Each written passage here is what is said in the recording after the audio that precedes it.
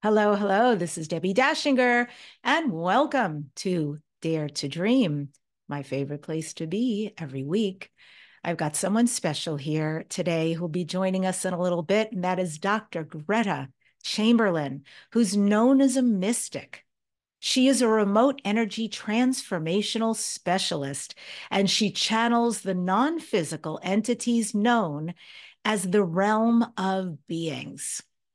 Dare to Dream podcast has won three talk radio positive change awards, won the COVR award for best radio and podcast show.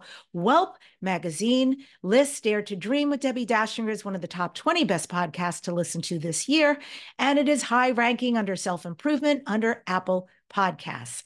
This show is sponsored by Dr. Dain Heer and Access Consciousness. They do energy work out into the world and you can find out more at Dr. Dain Heer, H-E-R dot com. I'm Debbi Dachinger. I'm a media visibility expert. And I take your book to a guaranteed international best-selling status. I'm also a book writing coach, and we meet twice a month from anywhere in the world on Zoom. So I can help you take your book, your idea, your inception to completion and published. And additionally, I help people get booked on radio and podcast. I've got a very small boutique agency that I run for spiritual messengers. And because of that, and because I'm also interviewed all the time on media, I like to teach spiritual messengers how to do this, how to be more visible, because it truly is your time and you are the light showers for this time. If you'd like to learn how to do this on your own, I have a free gift for you so you can learn how with templates and videos. Go to debbidachinger.com slash gift. That's D-E-B-B-I-D-A-C-H-I-N-G-E-R dot com slash gift. My guest is Dr. Gretta Chamberlain, DN. She is a remote energy transformational specialist and educator and renowned for her unique connection to the non physical entities known as the realm of beings. Known as a mystic, Dr. Gretta works internationally with individuals. Collaborating with the realm of beings, Dr. Gretta has pioneered transformational science, a groundbreaking approach that empowers individuals to forge new life paradigms. Her work gives hope to those seeking relief from debilitative diseases, addictive behaviors, and mental health challenges, and instead supporting conscious life experiences. Dr. Gretta holds a bachelor and a master's degree in education with her doctorate in naprapathic medicine. Her expertise encompasses functional medicine, neuroscience, and clinical psychology. Her podcast, Shifting Impressions, is a platform where Dr. Gretta shares profound teachings from the realm of beings. And if you'd like to learn more about Gretta, go to therealmofbeings.com. And with that, I welcome the amazing Dr. Gretta Chamberlain to Dare to Dream. Welcome. It's so great to have you. It's nice to be here. Thank I'm you. really excited to dive. Okay. I'll dive with you. Okay. Thank you. I know you sent these things and I I wasn't really planning on going over them, but actually in this moment it feels really right to talk a little bit about like very interesting life you have led that got you to who you are with me right now today and as a channeler. Can you briefly go over some of the heroine journey you've been on? Well, um, it started when I was a child uh, because I was exposed to the realm of beings at that point in time. But as a child, I didn't know what it was. I just heard uh, someone calling my name, Gretta, Gretta, you know, and I'm going, whoa, you know.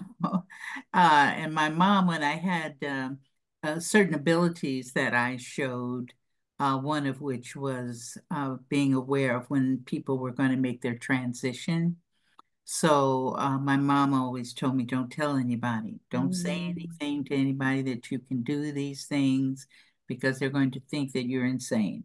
So I kind of grew up with that, with that certain amount of fear.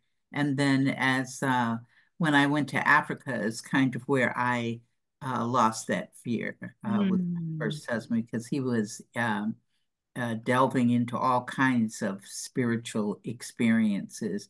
So that exposed me uh, to that and to be able to accept more of myself Mm. without having the fear of, oh, you know, you can't do that. You can't be that.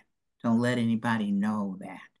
So um, it kind of started there. And then um, later on, uh, one of my, I call him my mentor, Tahuti Sema. Uh, he always says that says that I've gone beyond where he taught me. Mm. But he exposed me to a lady who has made her transition called Dr. Irene Hickman. She was an osteopathic medical doctor, and she was one of the ones that pioneered being able to go remote, not remote viewing. There's a big, there's a distinct difference between the two. So I learned how to go remote uh, from her. I knew uh, from her, I learned how to clear people, how to protect people, and that was about it. Um, then I started channeling more and more the uh, the uh, realm of beings. I met the realm of beings. I have to backtrack, Debbi. Yeah. I met the uh, realm of beings when I was in Africa because my first husband would always pass out. And I was going, and I told him, I said, stop passing out. You can't pass out in the street. How am I going to pick you up? You know? Yeah. So he said, okay, okay, okay. So, but I noticed that when he would go to sleep, a voice would come forth out of his body talking to him. Well, I mean, talking to me. And I was a very curious person, still am. Mm. And um, so I said, Well, who are you? I said, Well, let me entertain this, you know, individual. And that's when um, I met the entity that I call my father. Mm. Um, and he um, uh, told me that, um, well, first of all, I didn't believe it. So then I said to him, Tell me something that I did when I was a child, which I have never told anybody. And I'm not going to say it here either. But Okay. but uh, he told me, and I said, "Oh my God, he's been watching me since I was a kid." You know, you know. So uh, so then I knew the the voices calling my name. That was them. I was beginning to connect all these things together. And so he told me that usually people have one, but I have seven. Mm. Um, one was a woman, and the others have male voices. Seven guides or seven entities uh, creating the collective, the realm of beings? I think it was the collective realm of beings. Mm. I think that's what it was. You know, um, although I have a slew of ascended masters, but I um, put them in that category of being the realm of beings as well. Okay. Because I have certain ones uh, work with me, especially if I have to uh, go out and bring someone back from a portal, which is another space where people can get stuck. And I have to go out and get them. That ascended master, along with the time trackers, assist me in that process. May I ask you? So I've never heard that before. Mm. What does that mean exactly? What does that mean for the person and how do they get stuck in a portal?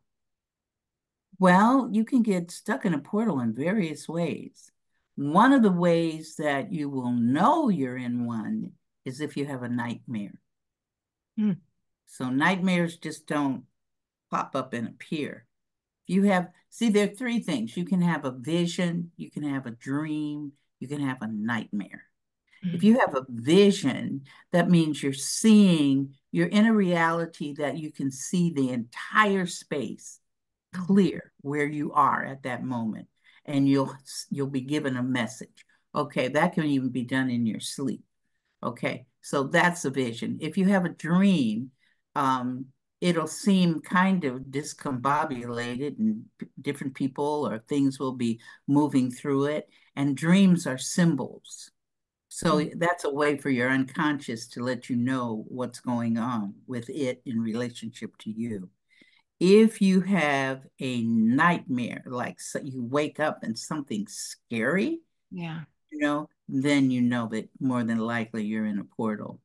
Oh. So that you've been taken into that space. Now, how do you get into them? You can walk into them. You can walk into them. Um, they can come to you. Like I had a lady that I was facilitating for. Uh, she was an, an interesting one because when she would walk out of her apartment to walk to work because her job was close by, she would see people on the street and they're all laughing at her, making fun of her. And when she would go into her job, it would stop. Mm. When she came from her job and went back outside again, it would um the, the whole thing would start again. So I knew she was in a portal, so I had to go in and take her out of there. That is weird. Yes, okay. I had a young man that was in a portal since he was five. And the only reason why I knew that was because when I was facilitating for him, he told me, he said, I only see, when I dream, I only see black and gray. So I said, That's all you see? He said, Yes. And I said, Oh, we've got a big problem here. So um, I can go into a person's dream and see exactly what's going on in the dream, see why they doing that. So I said, Take me where so and so is. So they took me and I saw exactly what the portal looked like because now I'm in the portal with him. And it was all gray and black. And it influenced him such a degree that even clothing that he wore was always black and gray. Mm-hmm. He never wore different colored t-shirts or anything. Everything was always black. Everything was always gray. So uh, even his apartment, the walls were gray, the furniture was gray, everything. So it emulated the portal that he was in. And he had been in there since he was five. When I worked on him, he was about 32 years old. So he had been in there approximately 30 years and did not recognize. Because oh. remember, time is a humanoid construct. Mm-hmm. So in other realities, time does not really exist. So we pulled him out of there and um, he started dreaming in color he started wearing uh, different colors, yellows, and bringing in color into his apartment and so forth. Mm-hmm. So that's another example of being in a portal. Thank you. Mm-hmm. Okay, mm-hmm. so Dr. Irene Hickman teaches you about clearing people. And then where do you go from there? What I did was, you know, tell you honest the truth, I think about it. I've been thinking about since I know that we were going to talk, and I'm going, when did I start doing that? it's it it became so natural to me. Mm. I really can't pinpoint to say, okay, I started doing it then. I just knew that when she showed me, along with others that she trained as well, how to go remote, I realized I could go anywhere. That means if I can go anywhere, literally, I can go inside your body literally I can see every cell in your body. I can go into the cells, and that's what we train our other specialists to do is to go into your body. We can look, we can talk to your cells because we look at the cells as a species, not as just a cell in your body. So they have their own creations of reality as well. And we can have conversations with them. How are you doing? okay, you like this energy better than you like that energy. All that kind of stuff goes on with that. Mm-hmm. Yeah. Okay. This is so interesting to me. So, what then? Because clearly, I mean, first of all, bravo. Your education alone is so impressive to go all the way up to doctorate, to have the many certifications and expertise that you have and then on top of it, here's the science you've got the spirituality that is innate to you. You've had it since you were a child, only built upon it or expressed it more largely. And so you've got both of these going on. and you've known the realm of beings since you were a young child. Mm-hmm. What then is the difference between you and what you can do, what Dr. Gretta can do, and what the realm of beings can do when you work with somebody? Um, we work as a whole.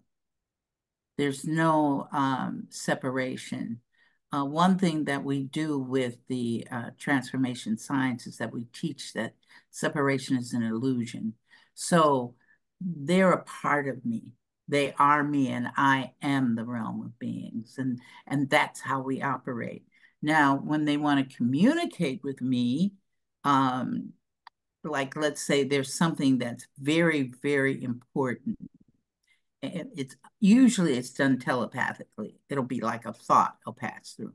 Uh, when I'm working on somebody, facilitating for a person, they're there because they're actually doing the work.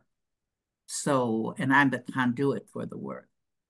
So they um, they will. I'll pick it up just automatically. I feel it. Okay, I know I have to put yellow energy in this person's digestive system or I have to go in to work with the dopaminergic neurons. I have to do that. They'll guide me to do that. And once I get there, they'll guide me to where I'm supposed, what I'm supposed to do. Okay. But if there's something that they feel that that's very paramount, like for example, I was writing, I've always been interested in what is soul. And I remember I was going, I would go to different places and I'd ask people, I said, what is soul? And then I remember one gentleman said, well, I'll talk to you later. Well, when he said he'll talk to me later, I knew he didn't know what it was either. So, you know, so I, that day I said, this was years ago now, I said, I'm going to do a PowerPoint because I usually do PowerPoints when I teach. I said, I'm going to do a PowerPoint on soul. I'm going to figure this out instead of uh, relying on others. So I sat down and then I got up. I said, oh, let me take a break. I went to my kitchen. Now, my kitchen has a very high electromagnetic force in it. So when I can stand in my kitchen, I can receive all kinds of visions. I can receive messages and that type of thing. So I'm standing by my kitchen table and I hear this voice said, Soul is a humanoid construct. Just like that, exactly. Soul is a humanoid construct. So I knew that they were talking to me and they didn't want me to miss that. So then I heard them, literally heard them, and they spoke in English to me because mm. they can speak in any language that they want to speak in. So um, then I asked right there in the kitchen. I said, okay, if soul is a humanoid construct, what am I supposed to be writing on? And that's when they said the unconscious. Mm. And that started my understanding of what the unconscious truly is. And it started me on learning um, what is the force that creates all of existence. Mm. Yeah, so that started. Wild topic. you pick oh, yeah. the easy ones. wow. Well, we're going to get into all of that. And I know okay. you're going to be doing some channeling in a little bit, but I, I want to talk some more about this. Very fascinating stuff. You've mentioned the word humanoid a couple of times. And I understand that somewhere on your journey, Gretta, you learned about being Arcturian and not entirely humanoid. so can you elaborate on what does that mean for you to be an Arcturian? I have a client who's an Arcturian hybrid. So this now this stuff has become pedestrian in my life, which is such a beautiful thing. Like I'm used to this and I'm used to meeting people. I understand we are all from various star systems, galaxies. That's mm-hmm. our galactic heritage. Um, but at the same time, there's no doubt every so often I meet someone or someone comes to work with me and I'm like, oh, you're definitely not fully from here. Like I really can tell how they function and be. There's some, there is a wiring that is not Earth. And so, how is that for you? Can you elaborate on being Arcturian, what it means, and how it has shaped your identity and your purpose? Well, first, I didn't know I was Arcturian. I had never even heard the word Arcturian. And, um, but one day, uh, my husband and I had moved from Sierra Leone to Liberia. Um, he was challenged. He had a lot of challenges, mental challenges. And I remember saying to myself, okay, I don't know if I'm going to make it this time through all of these challenges. Because he had started to improve and then he started to do a swing toward the old paradigm of operation. So I I just didn't know. I just didn't know how I was going to make it. So one day I was asleep and I was in that space, that reality where you can see the vision. Remember, I told you you can see everything there. And I saw these little balls of light, about maybe two inches in diameter, coming, seven of them coming out of the ceiling.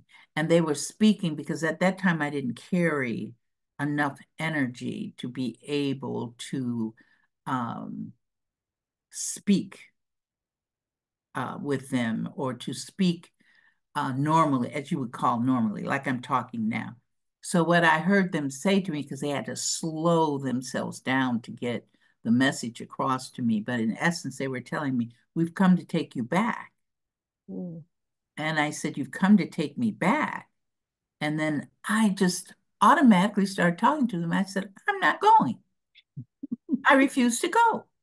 And then I, you know, you try and wake yourself up and then you wind up back sleeping again. And here they come, they're getting closer this time, telling the same thing. You know, we're coming to take you back. And I kept saying to them, no, I'm not going. I refuse it.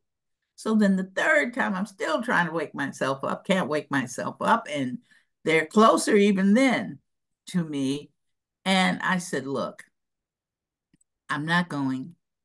I have things I have to do that I'm committed to do. I will come when I'm finished. Mm-hmm.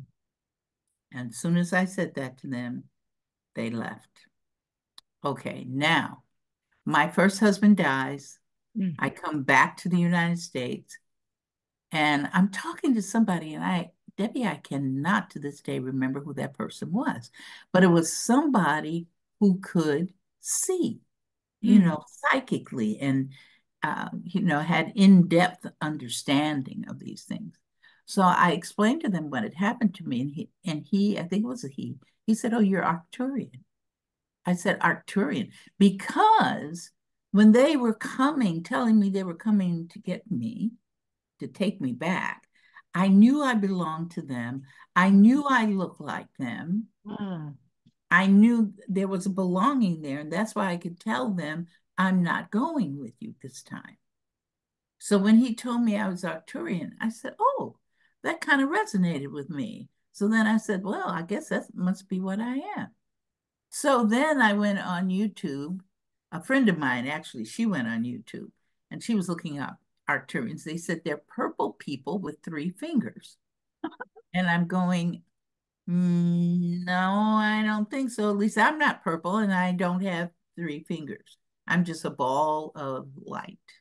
Mm. But that ball of light carries more energy than my humanoid body can afford. So sometimes I do uh, shapeshift and mm. I will purposely shapeshift into my Arcturian body because I know I have more energy to work with when I do that than if I stay in this humanoid body.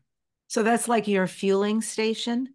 Where you go, you transmute yourself back, shapeshift into the light, and then you can carry that into this human experience? I just see myself. I know it's like you would see me still being Gretta as you see me. But I know that in another reality, I can shapeshift myself. Mm, very and cool. I'm only, I'm very small. I'm only a ball of light. Mm. You know, there's nothing purple about me whatsoever, nor do I have three fingers. So, um, but it's um, I have more quote unquote power. I don't like that word power, but that's why I'm putting it in quotes. You know, more strength to do the to do the work. Yeah. I know you talk about being part of the Universal Federation, and I find that intriguing.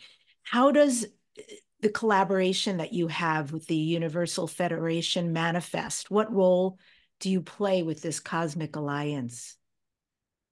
Um, sometimes um, I've had to, um, their requests, like their requests made through the realm of beings, mm-hmm. like there are uh, three gods. Uh, I was reading uh, The Keys of Enoch by J.J. Mm-hmm. Hurtak. Totally. And, yes. And when I got to the part that it said there are three gods in the universe, that really resonated with me. Mm-hmm. I knew that that was that was accurate. So knowing that and being able to be exposed to that, you know, I was requested that one of my tasks here is to assist people in uh, learning um, unconditional love, but not only unconditional love of others, but first learning unconditional love for yourself. Mm. And they wanted uh, one of the mandates for this universe by way of the three gods that created this universe was that they wanted um, the universe fully 100% of the universe to accept the idea of unconditionally loving, which means then you understand that there's no separation. Mm. So uh, with that in mind, um, I was asked to go to the Universal Federation, but I could not just, I was asked to do that because they don't tell me what to do because they honor my ability to create my own reality. So they respect that uh, thoroughly. So, uh, but in order to do that, I had to go to the Arcturian Council because I'm Arcturian and I had to say, I'm going because when I go there, I'm going to be representing, uh, you know, uh, the Arcturian population. So I said, can I have permission to go to the Universal Federation? And they said, yes, they gave me permission. So then off I went. I had, all you have to do is ask. I said, take me to the Universal Federation. Because I learned that with remote, I can ask to go anywhere. So they took me there and it was an interesting place because when I walked in there, um, my clothes change. Mm.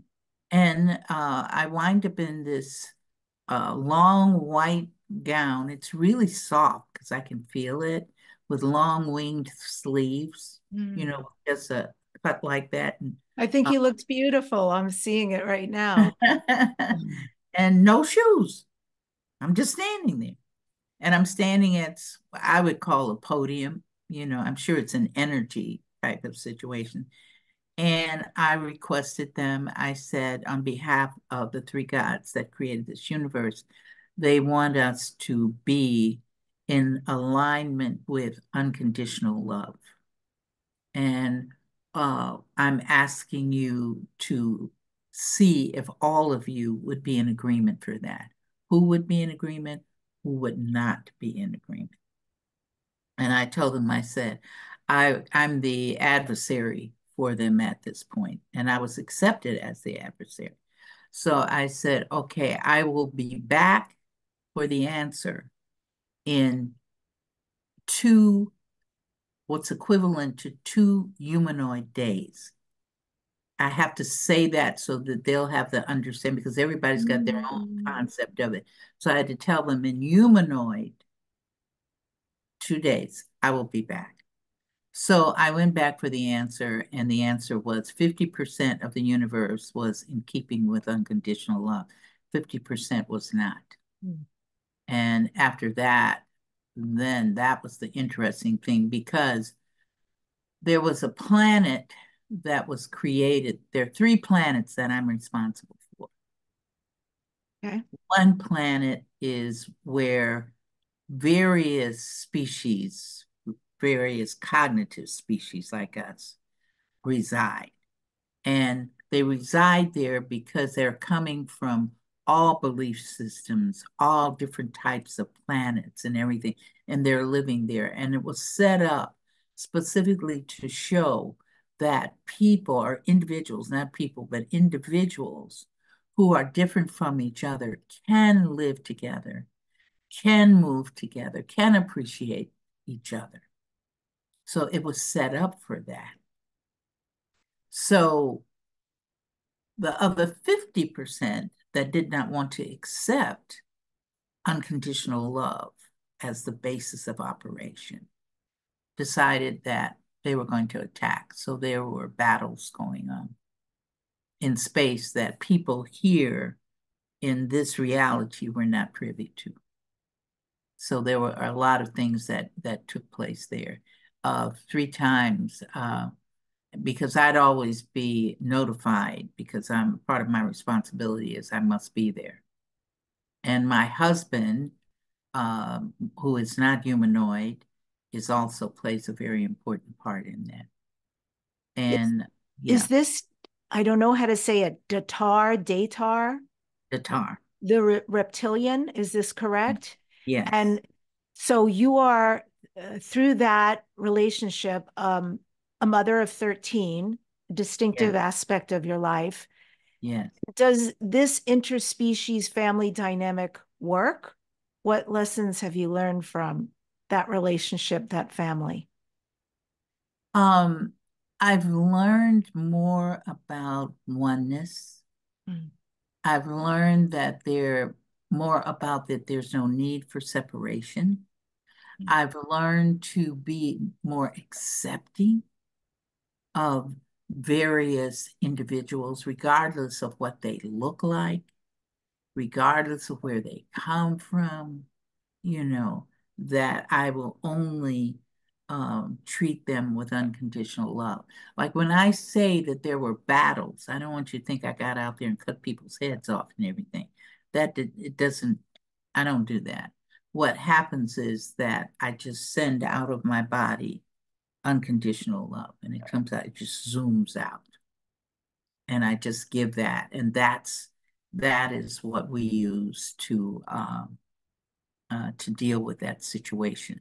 So I've had to, uh, the dynamic, um, I'm wife number five uh, in the pecking order, um, but I'm the only humanoid wife that he has. The others are uh, reptilian, and I know that he has about two or three others past me, you know, and their children. But they were they were very uh, accepting of me because people here have very uh, negative thoughts about um, us, the reptilian species that's uh, cognitive.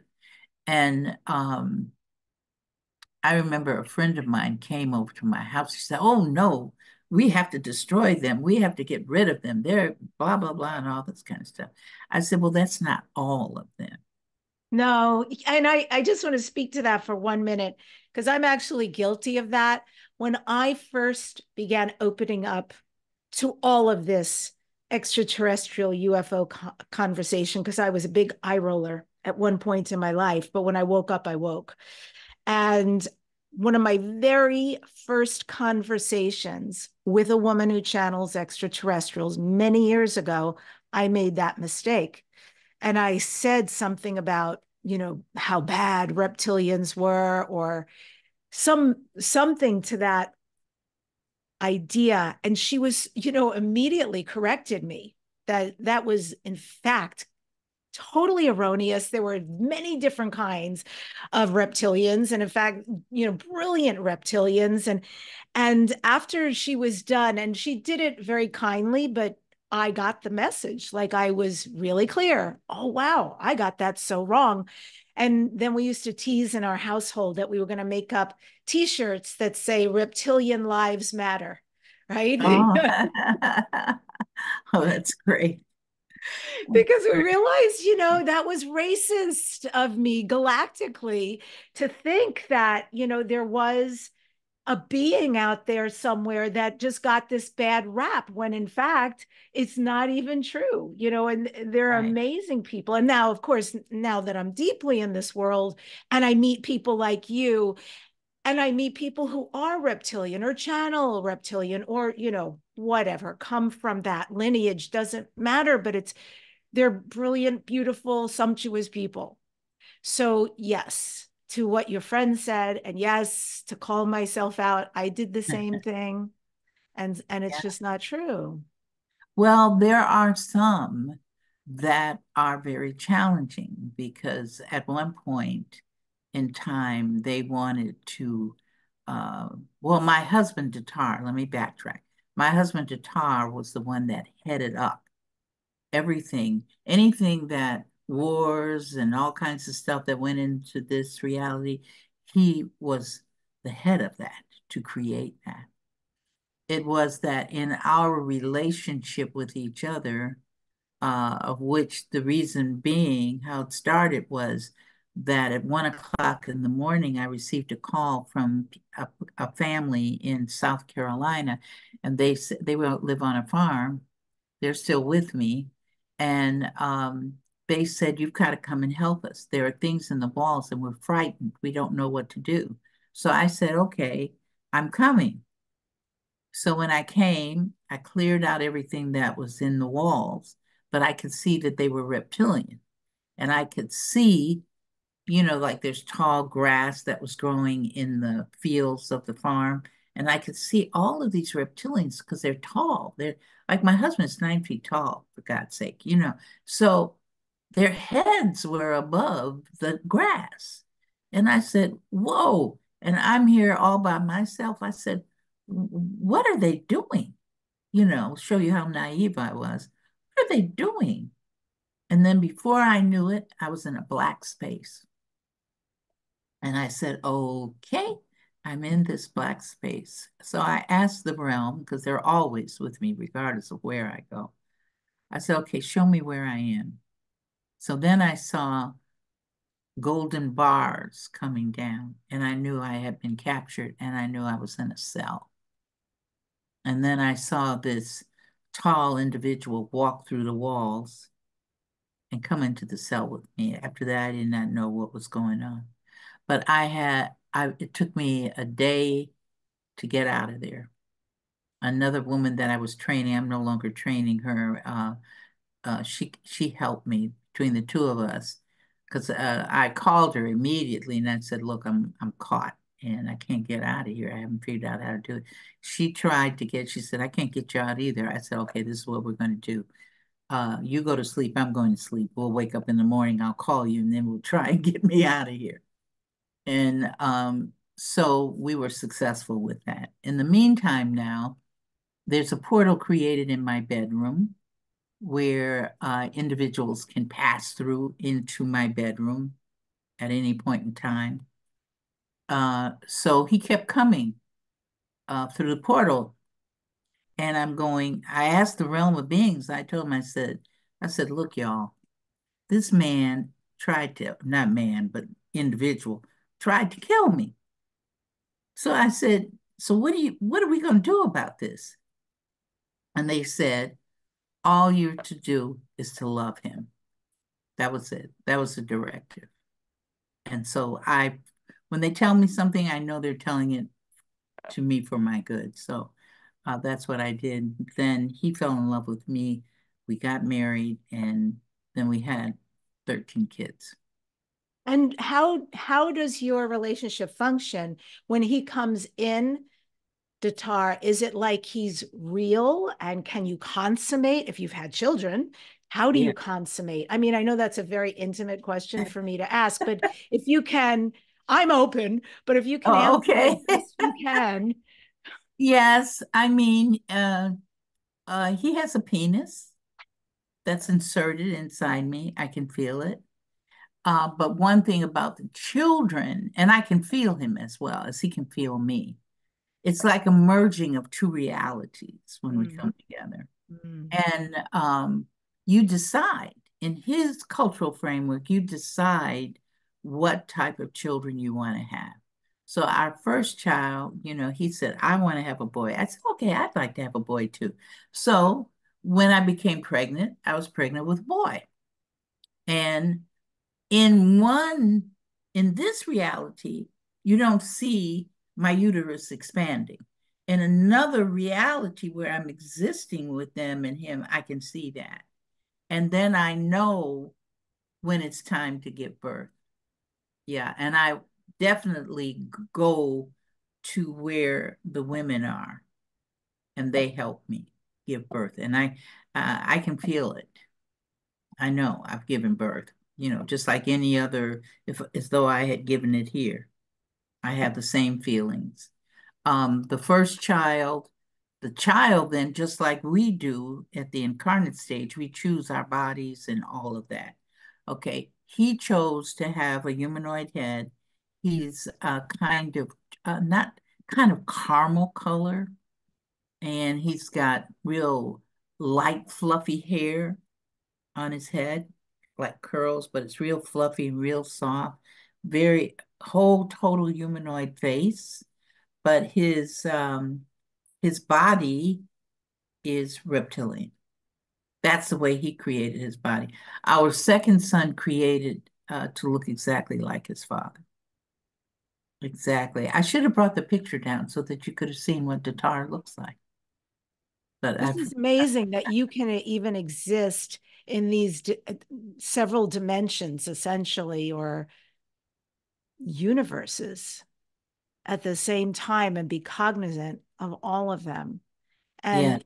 I also I don't underestimate this directive that you received from the Universal Federation. It is really clear to me, certainly, that our way out right now is through love. It's through healing the self that this world, this planet, humanity is going to be healed and mm. we're very much at the crossroads. So that's huge what they asked you to do. Uh, not easy under some circumstances, certainly. And um, yeah, I'm very impressed by everything you're saying.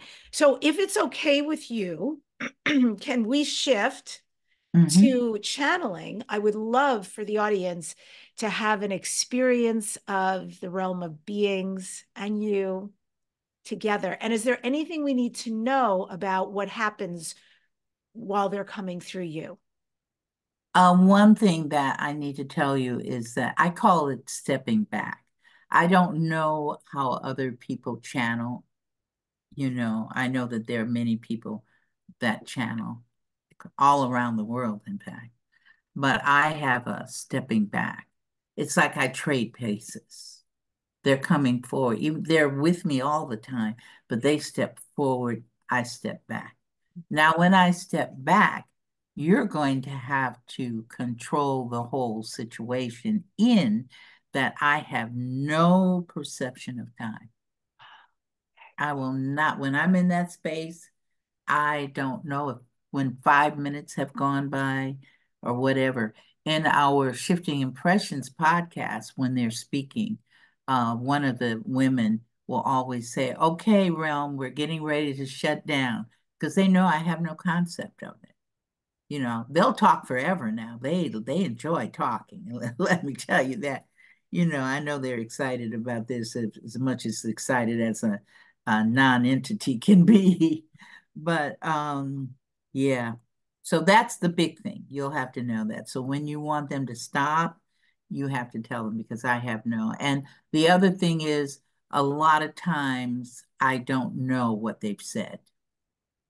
I don't stay cognizant of what they've said. So uh, people will tell me, you know, what you said such and such. I said, oh, they did. That's oh, that's interesting. You know, so people tell me what they've said. Okay. Yeah. Yeah. Yeah. That's super helpful. Thank you. And I got you. I'm okay. I totally have you. Okay, okay. And I don't know who's going to come. You know, people tell me that they have different personalities, you know, so we see some of them are are much have a more sense of humor than others. So uh, that's where we are with that. Mm -hmm. Okay, so you want that now? That would be amazing. Thank you so All much. Right. We, no we lovingly, unconditionally mm-hmm. invite them to join us now.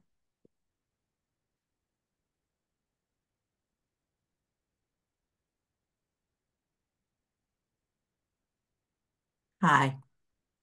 Hello, hello. Welcome. Thank you. We're very, very glad to be here with you. Thank you very much. Mm, thank you for joining. I have so many questions for you, and I would like to start first with saying, what about the cosmos? What do we humans not know about the cosmos that we would actually be surprised to learn? Oh, there's so much you don't know. First, you don't know of all the beings that exist. And I'm I'm assuming that you're saying cosmos is the universe. Is that correct? I think what I mean, because actually universe feels small to me. So maybe all the galaxies, all of space and time. Yes. What is it that we don't know about that cosmos? Well, the one thing is that everything goes into infinity. So when you say cosmos, that is something that never ends. Like here, let's say that uh, this universe uh, that we're in is universe number 56. But there is a universe number 2,349, you see. So the force creates endlessly and never stops creating. It's continuing to explore itself over and over and over again. So, what do humans not know of the cosmos? Millions and millions and millions and trillions of things they do not know, and more than that. Mm, That humanoids try to set up ways to understand existence. We're going to use the term existence in connection with your term called cosmos. Existence. What do humans set up to try to eh, understand existence? They set up dimensions. You're in the third dimension, you're in the fifth dimension, and so forth. This is the only place that thinks of existence divided into dimensions. If you went somewhere else and said, you know, I'm coming from the third dimension, some they're going to look at you and say, what? What are you saying? Where, where, what is that? Because it's a humanoid construct. Now, realities, the spaces and the realities that you create, you're creating so many realities at the same time humanoids do not understand how powerful they are. They do not understand that they create everything in their existence. They do not understand that. Everything. It's not that you discover, like we discovered DNA. No, you did not discover DNA. You created DNA. You create everything that you have. But in the humanoid experience, you see, Debbi, there are so many illusions. That's what this reality is about illusions. It's an illusion that you and I, even though I am an entity that's coming through Gretta, I'm a thought entity. I'm pure thought. I don't have a corporal body attached to me. But to deal with this humanoid experience, we utilize Gretta's body to do the things that way. And it's good for her. She it's good for her. She's learning so many things, you know. And it's not a learning. Let us correct that we want to say that everyone in this reality that is humanoid understands everything that we are saying right now. What happens is you've forgotten it.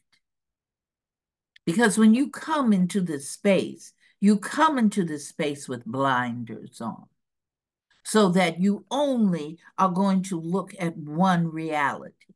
Now, grant you, there are those of you who can see beyond just one reality.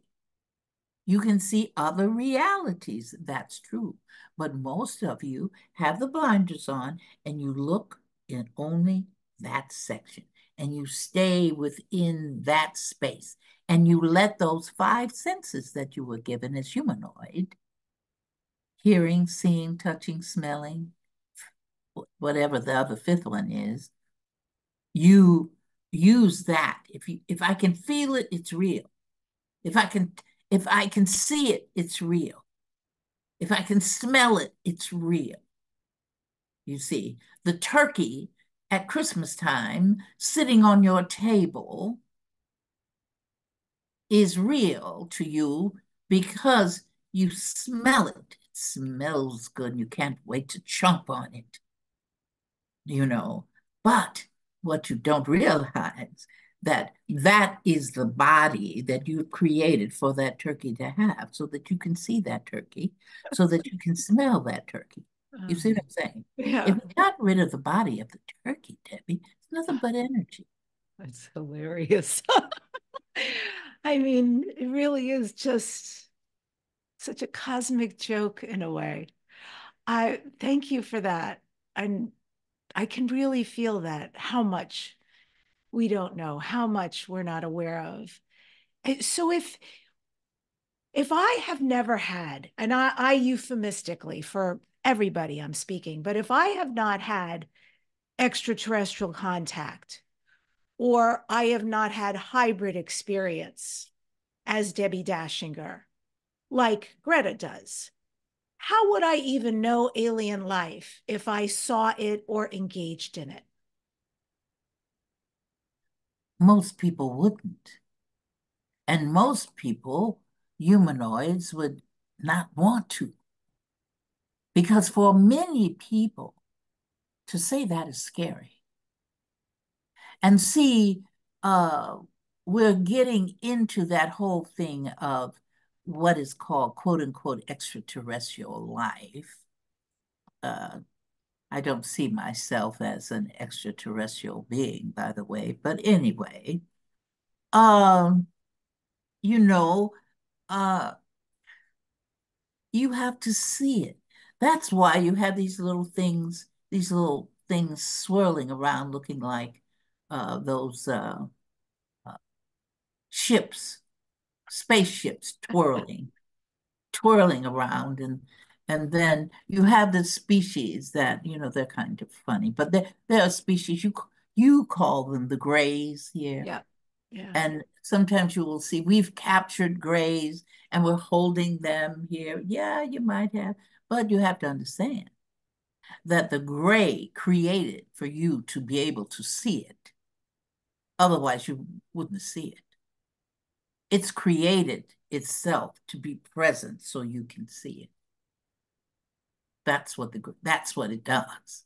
So there are a lot of species. This is what's very interesting, Debbi. I'm so glad you brought this up because you see, there are species right where you are right now, but you don't see them because well. May I ask what you mean by that specifically? There's species right here where I am right now?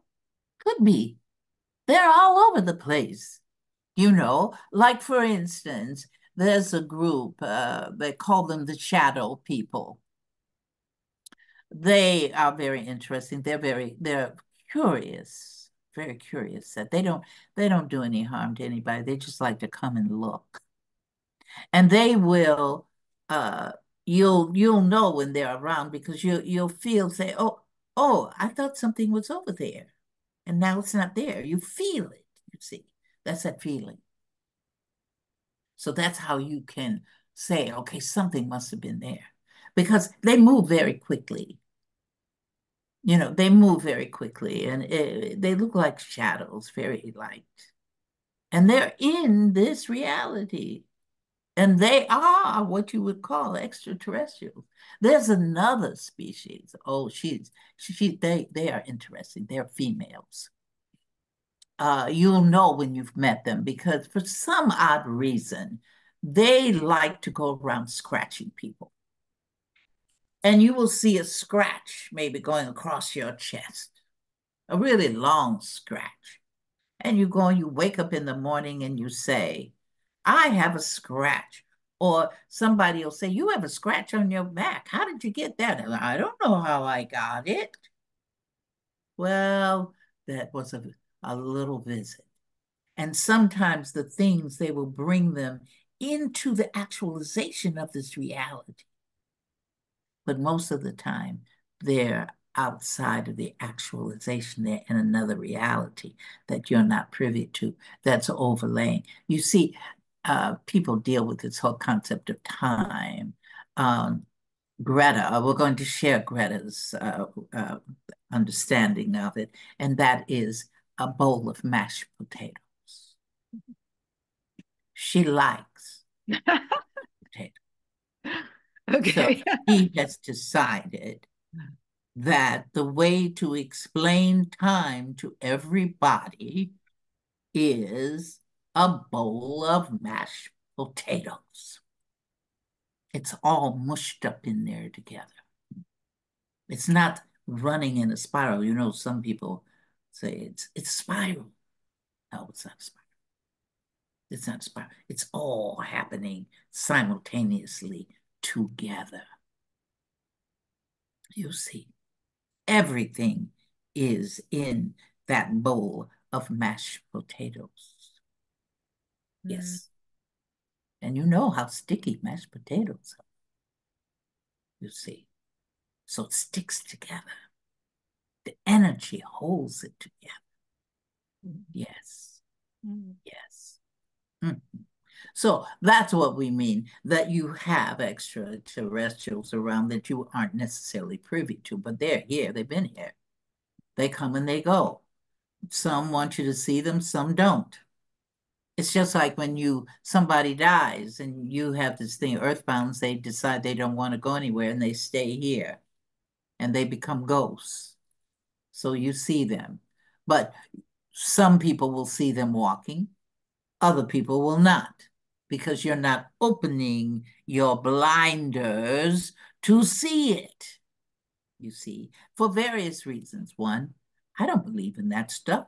Those things don't exist. Or two, oh, I'm too scared to believe in that. I don't want to see anything like that. Don't show that to me. But yet, but you know what we find quite interesting about humanoids is that they go and create these horror movies that will scare themselves. Sitting eating popcorn, looking at horror movies and enjoying these things to be scared. But don't want to expand the blinders to see what else is out there. That's too frightening.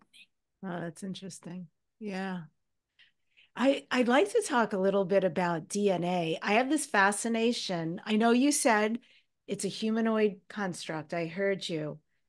So if I could uh, talk about a little bit of human history and how, gosh, I hate calling them aliens, right? Is there a better word to say beings from other planets, galaxies, universes?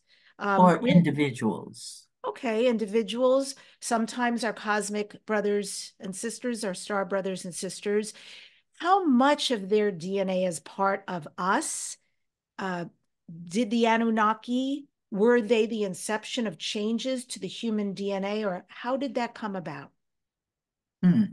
That is very interesting because one way for us to say that is that we are all one. In other words, Debbi, Gretta was saying she's humanoid and Arcturian. But as Gretta can say that, so can you. You can see yourself as being an Anunnakian or Hawthorne or Pleiadian, you see. But let's go into, let's delve into that. The Anunnakians are a species that chose at the incarnate stage, it was chosen, I'm going to experience being Anunnakian. So when you're exposing and, and experiencing being Anunnakian, there are certain things that go with being Anunnakian, certain realities that you create that you're exposed to. Because, see, all of this, all of this existence or cosmos is set up for the experiential evolution of the force itself, of which we are it. You are not part of the force. You are it. You are not Anunnakian because you are humanoid. You are Anunnakian because you are the force. And the force is everything. So we are everything. We just set ourselves up in these little spaces. So the Anunnakians decided, just like they did here, uh, let's create something. We want to understand how this whole magnificent beingness comes about. So let's look into that. There's got to be something about that. So therefore, they're going to create that. You see, they create that. It's just like, for instance, in your place you call Europe. Think back when the car was being fixed. If I'm not mistaken, I think there was somebody creating the car someplace in Europe while Ford was creating the car here in this country. You see, both cars being created. How is that possible? Because we all are one and we share all of the knowledge. It's just that some of it we put on the back burner because we can't handle it. Does that kind of answer your question? Kind of. Are we are we actually a chromosomal genetic soup of alien individuals? Are is there are, are there any thoroughbreds that exist on our planet? Is there even such a thing truly as a human that is distinguished from any other planet? I truly understand energetically what you're referring to. We are all one. But I, I am curious about the DNA that runs through us. I would say, to be transparent, besides the fact that it is very fascinating to me, I'm also really curious because I feel like this is a way forward if there is no separation, if in fact the DNA that runs through my body, Gretta's body, everyone who's watching or listening's body, if we're actually the same as our star brothers and sisters, then there truly is no separation. So I'm curious because I feel like when undeniable open contact occurs, this could be such an important point that might help some people to have more acceptance or to invite more that we become part of the galactic community? That's the basis of the question. We must discuss the white body. Now, that means we must discuss the force. Like you have fingers on your hand, if I say, give me your hand, you're not going to say, Gretta, wait a minute, I've got to take my fingers off, and that that's that's my hand. Your digits are all part of your hand. But each little digit, what you call fingers, does something. It has a responsibility toward the hand. The thumb has a responsibility, but it's still the hand. So the force has different fingers. That is it. That is one of the parts, because you're asking me that question, is called the white body. It's round. It's white. It's just a round circle. It's one of the fingers of the force inside that round circle is the design for everything that is in the universe and in the cosmos and in existence. It contains all of that. So when you reach out to be humanoid, part of the design, you're going to design your physical body. There are things that you see and things that you don't see about it, but you're designing it to be the best that you can for what it is. Because the force designs the body after it decides that you're going to be a humanoid female and what reality you're going to be in. You see. So within that, you have within your design, you have all of these components that uh, work with you to create that physical body and to move with that physical body. What you don't see are the other things that go with it because you're focused in this body. You believe that this physical vehicle that you can see is it. And you don't know all the other possibilities. You're beginning to learn them. So, what do you do as scientists? You create things to be able to learn how does this physical body function. But those things were in place there because from the design of a humanoid was going to have this, you see. This is part of the corporal body of the humanoid. What you don't see are the subtle bodies that go with being humanoid. You see, you have other bodies as well. This physical body is just one of them. Some of them uh, here you know of, like you speak of the emotional body, the mental body, the astral body. Everybody knows, well, the astral body is what takes me to various places. I'm traveling with the astral body. So you've learned that. You've created to know that. But there are a lot of other subtle bodies. You have a subtle body that takes care of your muscles. You have a subtle body that takes care of the chemicals in your body. We call it the chemical body. You see, you have all those separate things. Then you have what some people call the um, I guess the body of light. I think somebody said that, but it's the etheric body. And that etheric body does something. You have trillions of the etheric bodies. You see, it's what you believe. Let's go to the chakras. It's a really good example. There's a belief that you only have seven. Because I it's it's in books. You know, you have the pretty colors, orange and green and yellow, and they all represent something, and you have seven. My goodness, my goodness, my goodness. Then you have another group that says, well, there are only four chakras. Then you have another group that says there are 36 chakras. You see how it, it how that creation is taking place.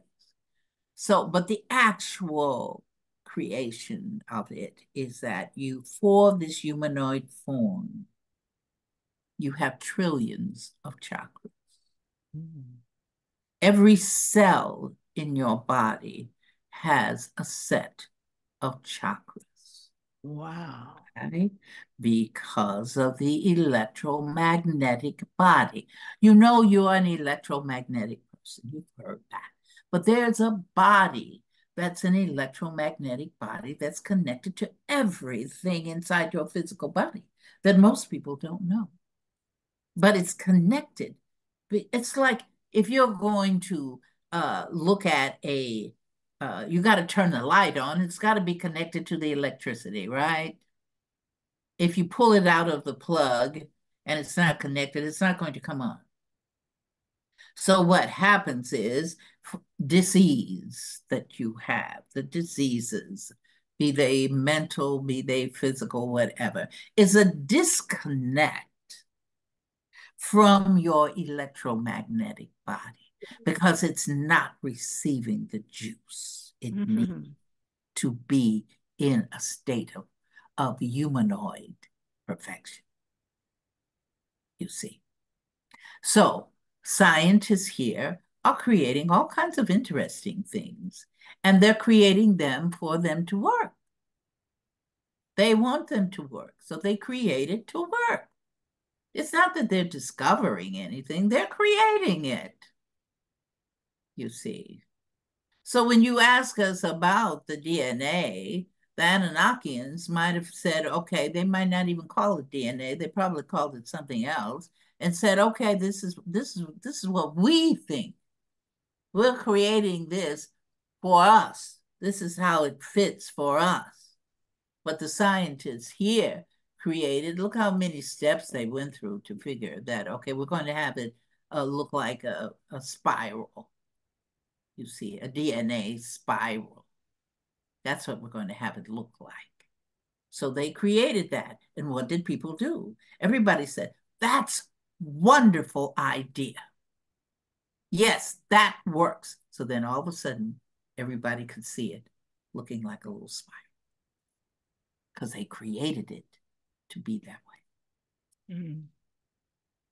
It's all about creation of reality. You see, it's all about that. When you take away all of these bodily forms of everything, you're only going to see energy. And you're not going to see this part of energy over here, this part of energy over here, this part of energy over here. No, no, no, no you will only see one energy.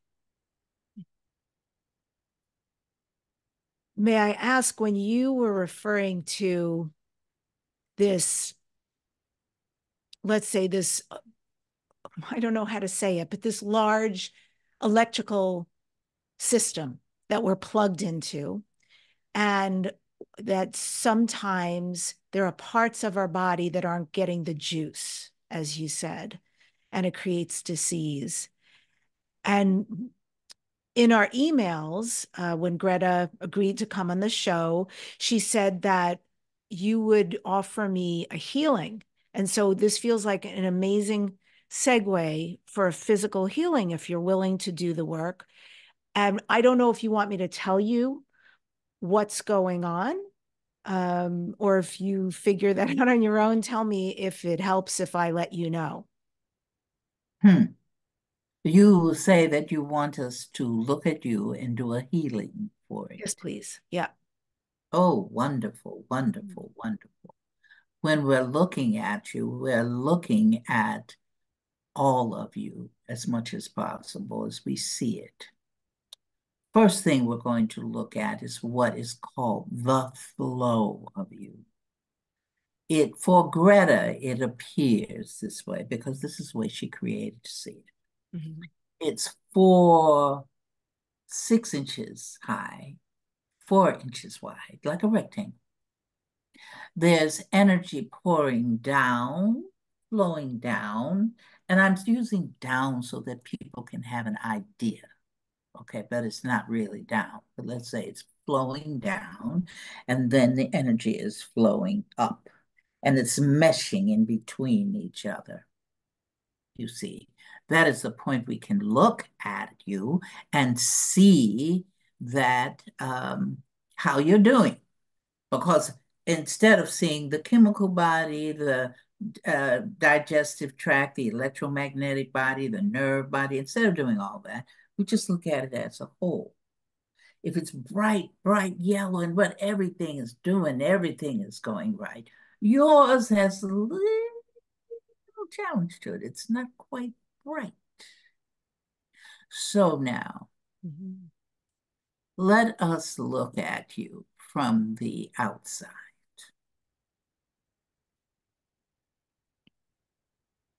All right. We're looking at you in a different reality now. We're not looking at Debbi as people see you in that reality on this video. We are looking at you still in that same place, but another aspect of you. You see, there are many aspects. We can have millions and millions of aspects.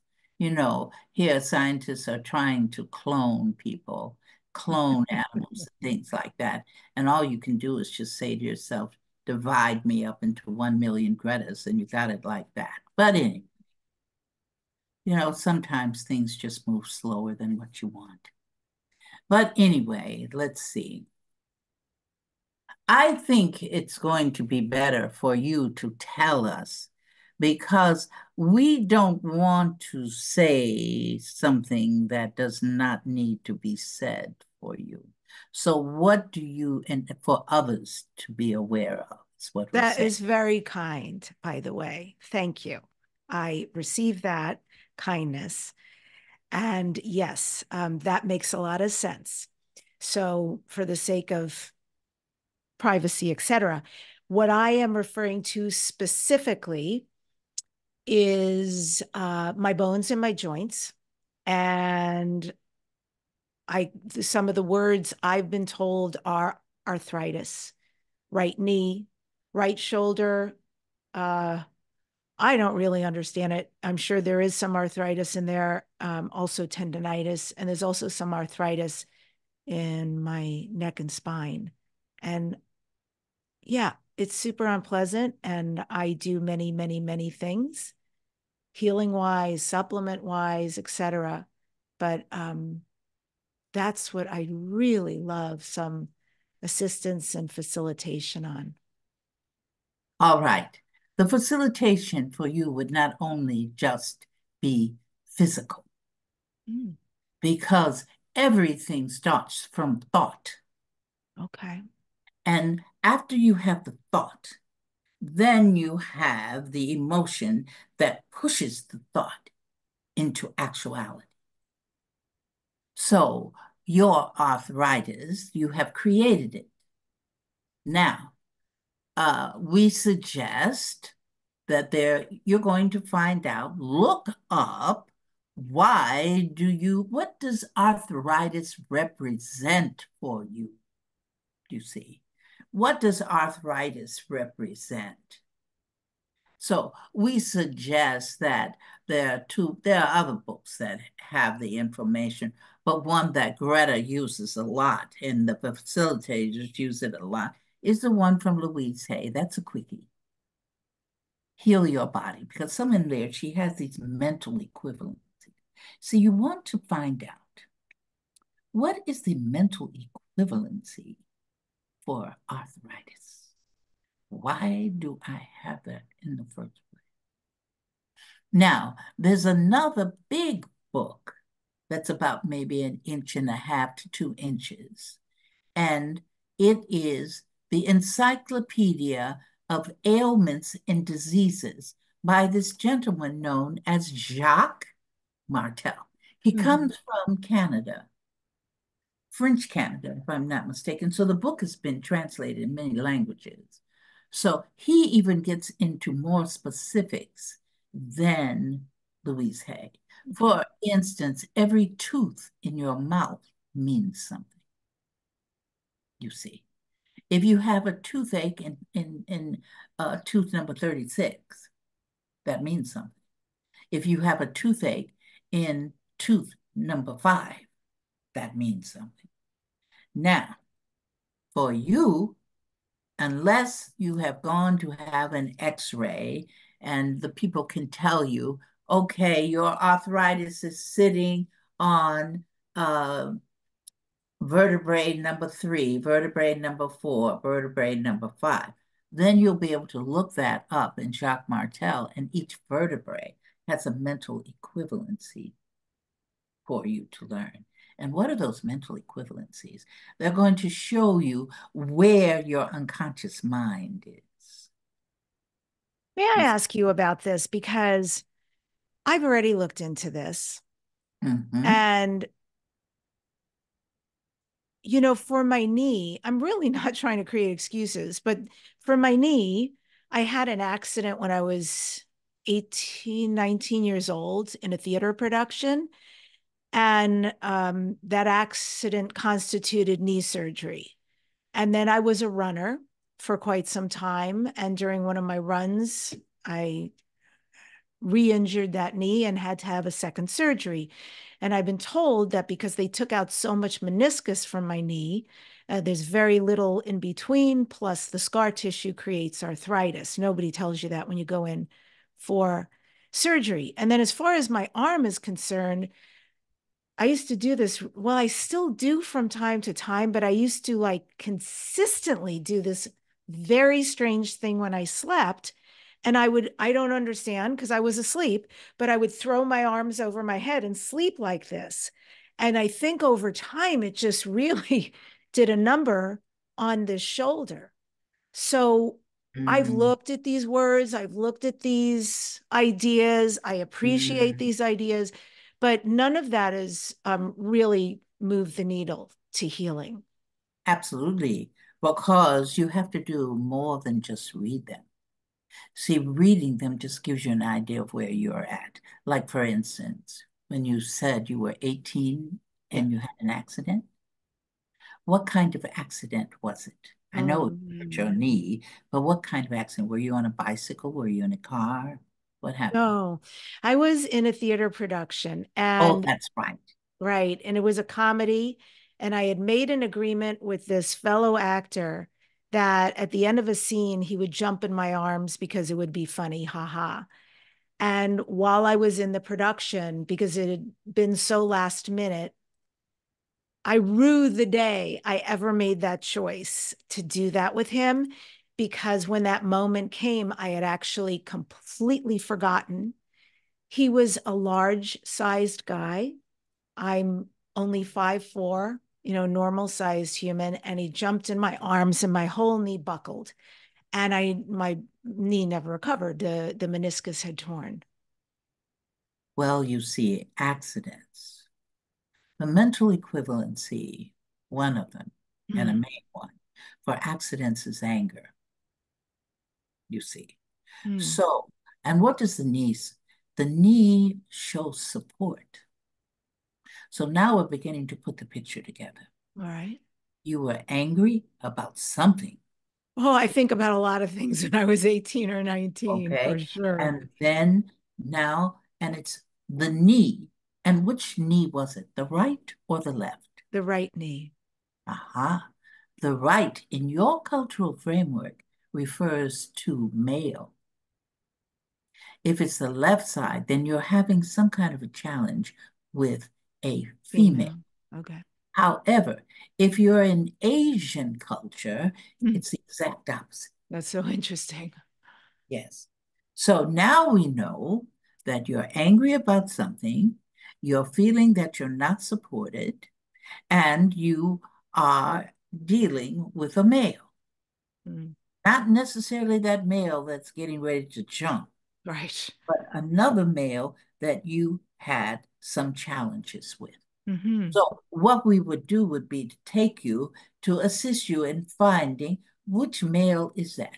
Was it your father? Was it a significant lover? What was it? Who totally. was yeah, it was my father. Absolutely.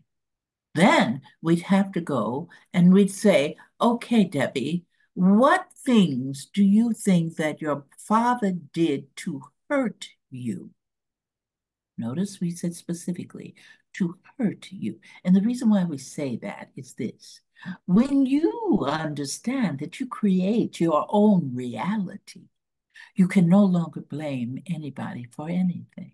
Mm because you have created it yourself. When you don't believe and understand that you create your own reality, you're just out there. He hurt me or she hurt me. Excuse Gretta. So something happened, and we don't want to do that on this show with you. You understand? Because you'd have to go and talk about what did you think your father did to you mm. that hurt you, that made you feel that you were not being nurtured by him? Wow. Mm-hmm. So that now you're angry and you're angry about it, and you're also not feeling supported. Mm. So that means you weren't supported by him. So we have to, we don't just uh, uh, uh, look at the physical aspects of something. We want to get down to the nitty gritty. Why did you create that in the first place? You see. So if you're just reading the mental equivalencies, the mental equivalencies just give you an idea. But you've got to go internally and look and see your, into yourself, into your beingness, and say, how did I do this? Right. Let me ask you. So yeah. this is good. This is good. This is obviously, if I've read these things before, it just never landed.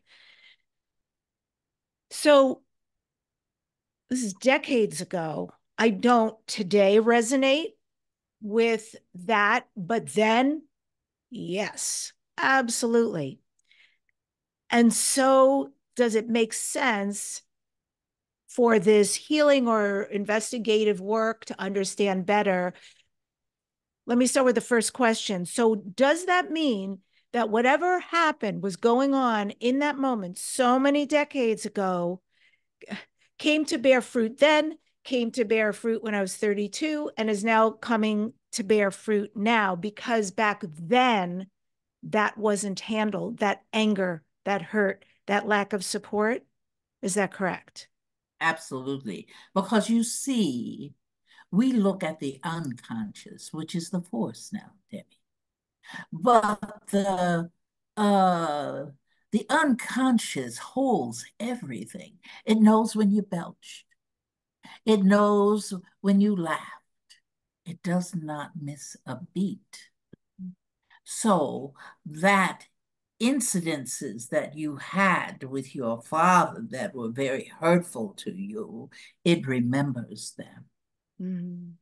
And if you have not worked with the unconscious to say, look, we don't want this. I, I don't want this experience anymore. I'm getting rid of this. I want to change this. Yes. So, one of the methods that we gave Gretta that she shares with everybody is called the QDR quick displace replace. Okay.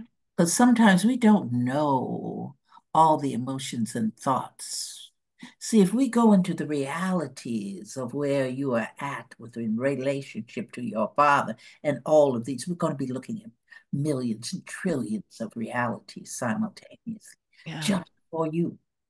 Mm. See. So, but what we can say is look unconscious. I know you'll use this to teach me a lesson, but uh, I'm really tired of it. Yeah. So then uh, the QDR says, it's a quick displace replace. The QDR says, I release all emotions mm. and thoughts.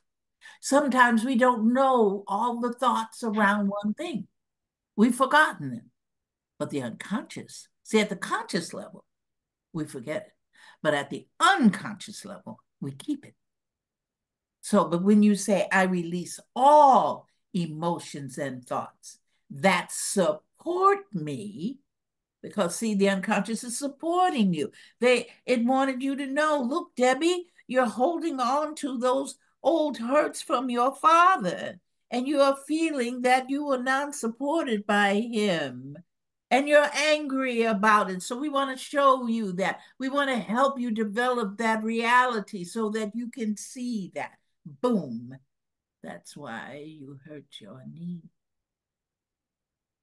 Yeah. But you still didn't get rid of it. Let us finish with the QDR. I release mm-hmm. all emotions and thoughts that support me. Notice supporting now. Support me. Now, here comes your part creating and maintaining anger about my father. The QDR is where you talk about the very thing you don't want. It's the only thing you have right now. That will assist you in talking about other than going to a psychologist and sitting down and having talk therapy. We're not talking about that. We're talking about you doing something on your own. So I release all emotions and thoughts that support me in creating and maintaining anger over the things that my father did to me. That's the display. That's the talking to the unconscious. And then you say, here comes the replays, which is powerful. I love myself unconditionally. That is the replays. Now, it might go away in one minute, it might stay there. Then you've got to look at the energy. What is the intensity of what you're saying this at? Are you saying it at a low intensity where that, eh, I don't know if that's going to work? Or are you saying, I know this works. I believe it, I know it, and I'm changing it. Mm-hmm. You see, there's a difference of the energy without you knowing energies. You see, the intensity of it. So we would deal with that, with that. And then we'd have to ask you, okay, write down all the things you feel that your father did to you that hurt you. Hmm. Because, see, when you're a child, you're not thinking anything about, oh, I create my own reality. You're not thinking anything about that at all. You don't even know about reality. You see, but you know that you feel hurt. So, therefore, write it down. And then you create an affirmation where you mm-hmm. substitute things and you focus on what it is you want to experience. So the QDR helps you to function and state what you don't want, you see. But the affirmations state what you do want. So we'd have to start you on that path. And then, because we can do energy work all up the yin yang and around the corner and up and down and all kinds of stuff, and you're going to look at us and say, My knee still hurts. Mm. You see what I'm saying? That your knee still hurts because the unconscious is showing you that. Now, get this uh, pain is a form of guilt. The mental equivalency to pain is guilt. You see what I'm saying?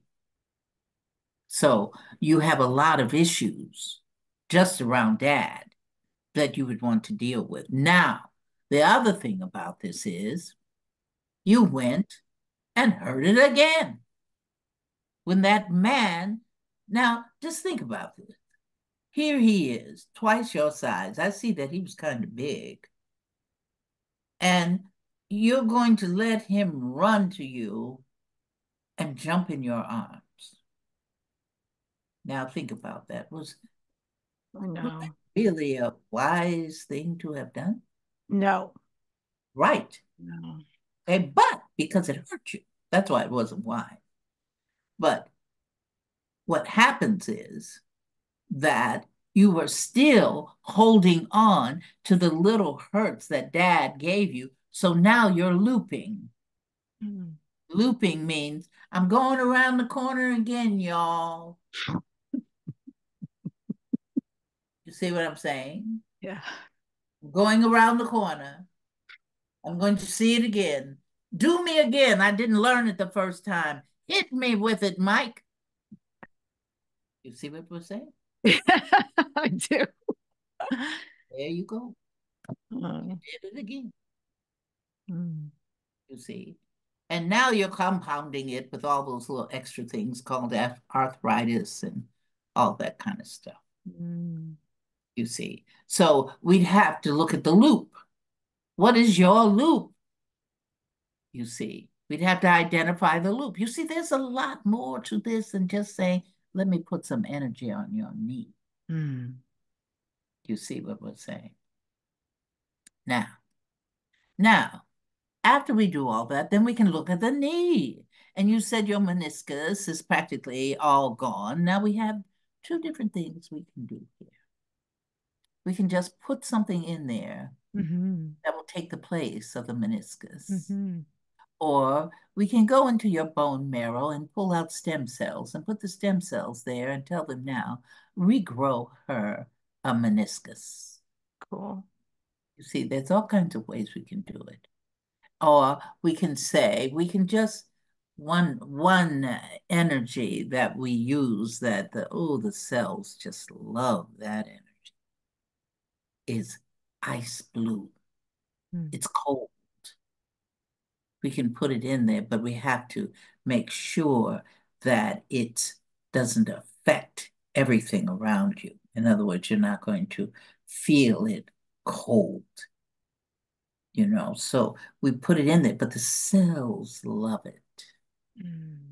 Cells love it. Then we have the arthritis that's sitting there. And then we have this thing that we call acid. It's not really acid, so don't think we're going to be pouring acid. But we put that, we call it acid energy because we're going to put it as we so speak. Did we get permission? Yes, please. 100%. Did we get permission from uh, the higher consciousness of Debbi? I think we did. And we can do that, yes. Okay, so we do the higher consciousness. The force gives us permission. Because sometimes you don't know all that's happening, that's going on, but, but it does. But anyway, it gave us permission. So we can go into your, oh yes, it does look interesting. Let us put the acid over mm -hmm inside just your knee is what we're working on. Let's put the acid over the knee, and it's going to start to dissolve the arthritis. We want the arthritis to dissolve. We don't we don't want to keep you. We just you can go. We it's all right. And then Gretta has, we gave her the energy, but guess what? She turned it into these things she likes to make things look like things. So she cha- she changed this ener- that energy that we're going to put into your knee to look like Pac-Man. You know, for that game, Pac-Man. Totally. she loved Pac-Man at that time.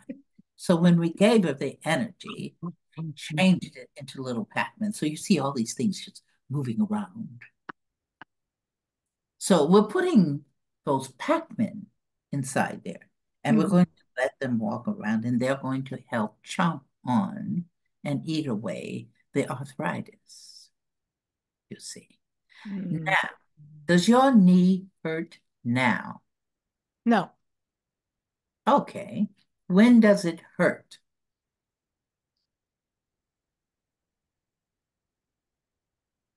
When you're mm-hmm. standing for a long period of time? I would say if I walk considerably, um, ah. certainly if I tried to uh, do anything weight bearing, such as go to the gym and do weights, uh, certain yoga positions, mm. anything that's more strenuous is. I, I mostly feel a very light, dull ache, but um, and once in a great while, if I go to get up, it can be a little winky. Like I, I feel something a little weird that's not fully connecting in there. Hmm. Okay, we're going to put, we use the cube. The cube is a shape. What they call it here is, uh, what do you call it? Sacred geometry. Oh, beautiful. That's for a different uh, we don't necessarily, that's what humanoids call it. We don't necessarily call it, we just call it, it's a shape, a humanoid shape, by the way. Uh, and we're going, it, it oscillates. Because if we keep it straight, it's not going to, we want to intensify the energy. So it can emanate, but we don't want it just to emanate. We want it to oscillate. We want to raise the energy. Now, one thing we did not do was to set the energy for you. So we're going to set it at 999 zillion electromagnetic units to the 18 million, 18 millionth power. That's a lot of energy. And to make sure that you're okay with it, we're going to put 10 bodysuits on you. That's light energy over your physical body. We're going to give you 10 of them. And then as we go through the work, uh, then we will decide if you need additional ones, and then we will put additional ones there for you. So that means when we're using this energy, you're not going to be overwhelmed by it. How would we know? Would ask you, do you have a headache when it's all over? When you say no, then we know, okay, it's all right. Do you have a tingle? No, good. Then you're holding the energy and you can deal with it. So we're doing yours at the 18 million, 18 million power, and we're inside the knee.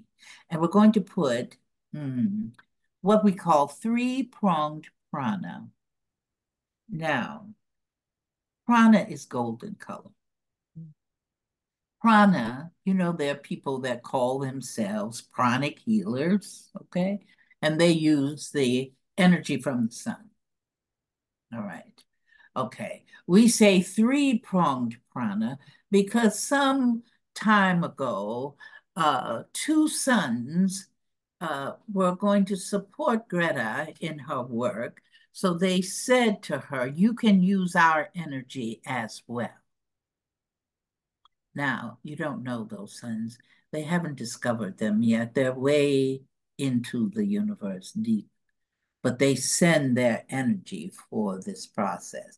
So you have the energy of this sun, you have the energy of the two other suns that are way deep into the universe. So we call it three-pronged prana. Mm. So we're going to take three-pronged prana and we're going to make it go around inside your knee. Mm. All the cells that are around your knee, all parts of the knee, all the bones of the knee, all of that needs to be healed. Because you see, when one cell's affected, the others, they kind of sympathize. Uh, we keep telling them not to do that, but sometimes they sympathize. So they take on, they share the experience. Let's put it to you like that. So you have a lot of cells inside your knee that are sharing the experiences with each other. So we're telling, we're going to put inside every cell of everything that's in your knee. You know, everything has a cell.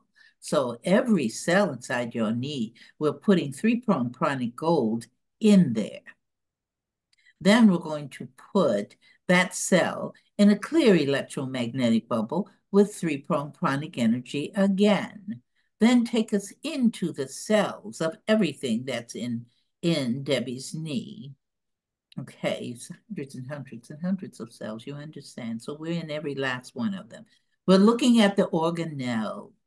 We want to put the organelles in clear electromagnetic bubbles with three-pronged pranic golden energy. We want them to heal as well. That means your nucleus, your nucleolus, your ribosomes, all of that stuff. Now we're coming to the mitochondria, which gives energy to the cell ah, we're going to double protect the mitochondria. It's special. So, and then to help it, we're going into the mitochondria itself. We're going to see the Krebs cycle, which helps to create the ATP, which is the energy. And we're going to put that whole cycle in a clear electromagnetic bubble with three-pronged pranic golden energy. And then we're going to take the ATP, which gives the cells energy. So we want energy for them to heal, you see. So we're going to put that inside a clear electromagnetic bubble with three-pronged pranic golden energy as well. Now the mitochondria is looking good. Mm-hmm. The, and what we want to do is we want also not only to heal, but to make the cells feel good. We're going to put a, what we said before, a oscillating light blue cube. It's going to oscillate. There it goes. In every cell that makes up your knee. We don't care if it's a tendon, a ligament, a muscle, circulatory system, nervous system. We don't care. In every cell, we have done this. you see, that makes up your knee. Now, you like to keep buckling your knee. We're going to put it, wrap your knee. It's going to look like a band-aid, but we're going to wrap your knee with ice blue wrapping, cooling it down. Because when you do those exercises, you start to get inflamed with it. We want to keep it calm. You might want to stop those exercises for a while, maybe a week. And then we're putting that, wrapping that with that. And then we're going to put a clear electromagnetic bubble over with that, with ice blue energy too. And then we're going to put a black bubble over that. The black holds. So we're having it to hold. Now Gretta's created all these other names too, so just bear with us with these names. We're putting a clear box over that. It looks just clear like a regular box. It's energy. And then she calls the next one plexiglass because it's a little bit thicker energy. So she likes plexiglass. She, she likes naming things. So we put that on top of there. And then there's another one. Uh, it looks kind of light bluish and uh, kind of grayish. So it looked like her like steel. So it's not steel, Debbi. So don't think we're putting steel in your knee, but that's what Gretta calls it, the steel box. So we're going to put the steel box over there, and then we're going to put a clear box over there. So it's going to hold the facilitation. But now, who else must hold the facilitation? You must hold it. If it feels all right for one day, but then the next day it starts to hurt again, then you have gotten rid of the facilitation. So what you want to do then is call the facilitation back.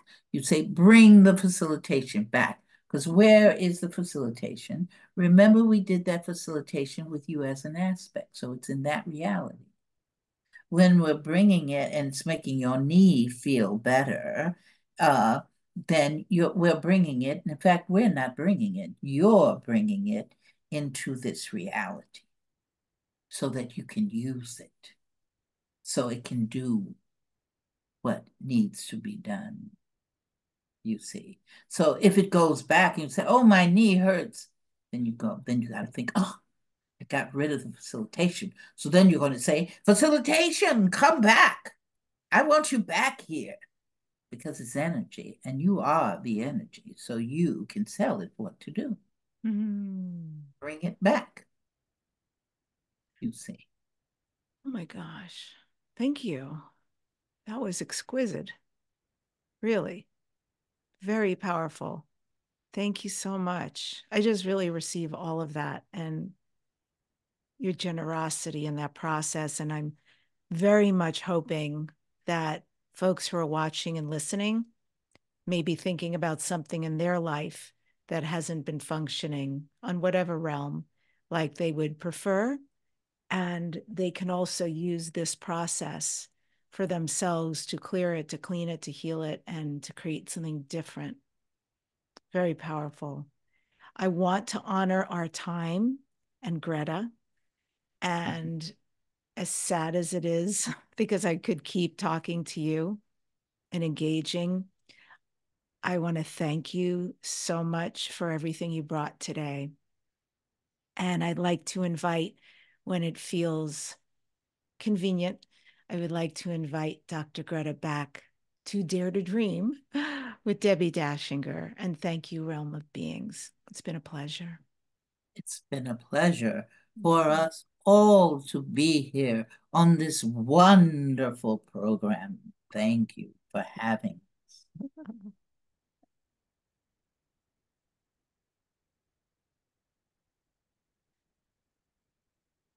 There we go.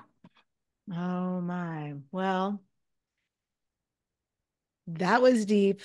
that was deep. It was really amazing. I thank you so much for allowing all of that to come through you for us. And I know my energy feels incredibly changed from this interaction. It's really beautiful what comes through you. Um, how are you feeling? Oh, I feel great. Excellent. I feel great. You know, uh, I'm going to be doing at the Consciousness Expo uh, psychic readings, um, and they're free. So consequently, is this at your booth or is this during your talk? At the booth. Wow, they're free? Good luck. Yeah. There's 10,000 people who come through the door. Holy moly. Well, that's going to be amazing. Um, so let's tell folks so they know upcoming is the Los Angeles Conscious Life Expo. It's February 9th through the 12th, held at the LAX Hilton Hotel. I know you're going to be speaking, Gretta. Um, yes. Tell me what you're talking about when you talk.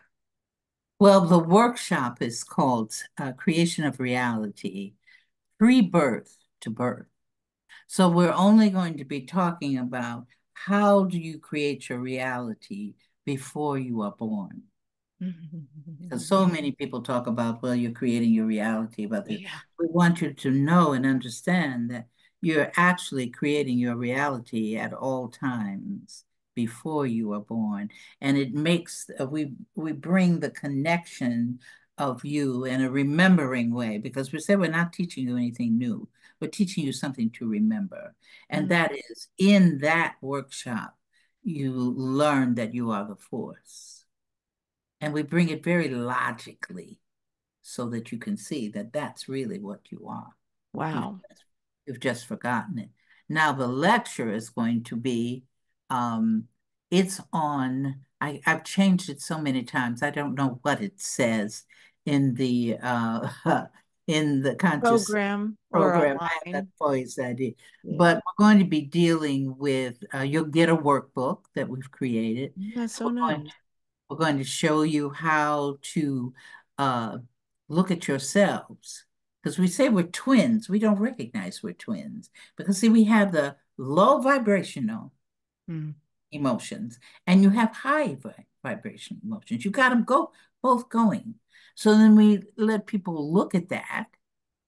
They write it in the notebooks if they want. They're going to get a journal that they, I mean, just a, journal paper that they can nice. just write on the notes. And they get a lotus.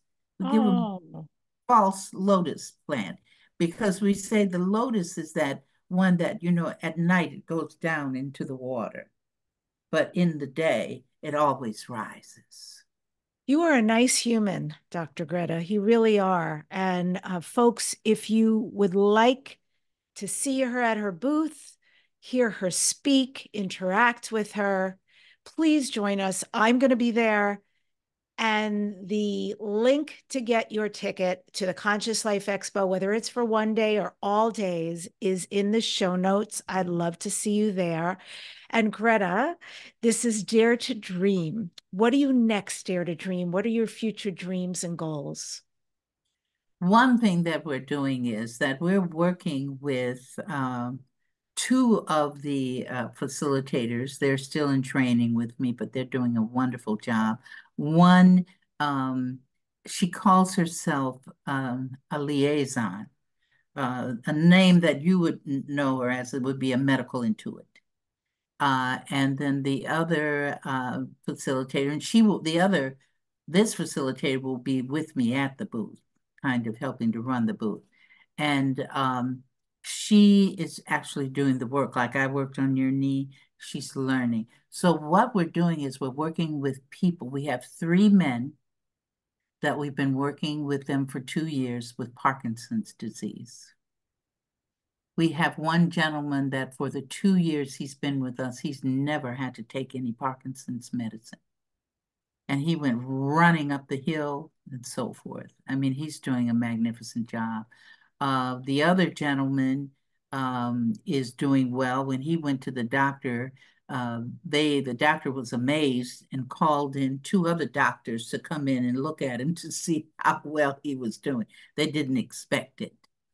And then we have another gentleman who's had it a little bit longer, but he's holding his own. And everybody is doing better. Even his doctor said, oh, you, you're improving. Yes. So that's what we're doing. We want to show, and we're keeping this, we're keeping records. We tape everything, and uh, we're going to have a book. Uh, and later on, maybe sometime next year, we'll be bringing that out to talk about how to use this method in working with people to heal themselves from Parkinson's. And we also work with people who are experiencing cancer, cancer, uh, and just people who generally, uh, I have people that they just want a little bit more direction in their life. But we don't give them the direction. We show them how to develop the direction, mm. you see, because that's important. We want you to be able to fish. We don't want to fish that's, for you.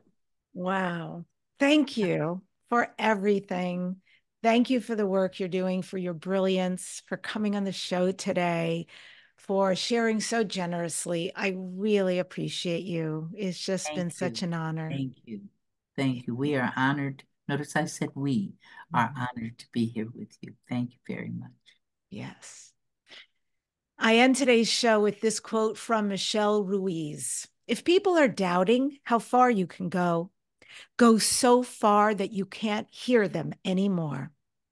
Subscribe to this number one transformation conversation, the weekly Dare to Dream with Debbi Dachinger. Leave a comment and share. Next week on the show is going to be the amazing Vivian Chavet, who is an Arcturian hybrid, an intergalactic healer, and universal communicator. Thank you so much for joining us on the show today. That was really actually very vulnerable for me to go through that with you, but the realm of beings made it it made it a beautiful experience actually. It was very calming after all. And I hope you guys got tons out of that for yourselves and you can use this as your own process. Remember, don't just dare to dream, dare to turn all your dreams into your reality.